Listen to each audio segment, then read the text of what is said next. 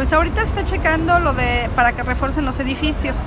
Las autoridades nos dicen y se firman acuerdos en los cuales ellos aceptan que se va a hacer el, refuerzo de los edificios y va a ser gratuito porque por la situación económica en la que estamos nosotros. El jueves se cerró Tlalpan porque el acuerdo en el que ya se había llegado con el gobierno, ellos se echaron para atrás, dijeron que lo iban a volver a pensar. Entonces ahorita se está checando eso, incluso también estamos checando lo de la ayuda de los 4 mil pesos, la ayuda económica de renta. Entonces, este, pues ahorita es lo que, lo que se está viendo si vamos a entrar a fondo perdido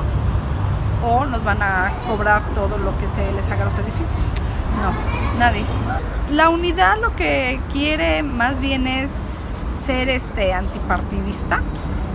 pues precisamente para eso, para que no se cuelguen también la medallita, ¿no?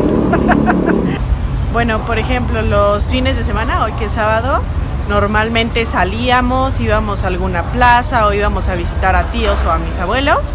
y cuando nos llegábamos a quedar en casa ordenábamos o por ejemplo ahorita que estoy dibujando ahí pues tenía todo el espacio de mi cuarto o incluso la sala y aquí el espacio es súper reducido obviamente no hay datos de wifi no hay señal entonces sí tengo que gastar todos mis datos celulares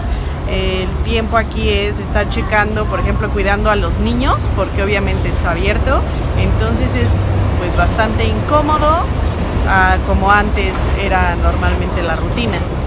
La comodidad, a pesar de que tal vez no estamos como todo el día en casas de campaña o estar aquí en el albergue, el lugar donde ahorita estamos rentando es considerablemente más reducido a donde, al departamento que teníamos aquí, bueno, que tenemos. Entonces, por ejemplo, tengo que compartir habitación con mi hermana en un cuarto que es ligeramente, por ejemplo, tal vez dos o tres metros cuadrados, no, como dos metros cuadrados más grande que el que yo tenía, entonces el espacio es súper reducido.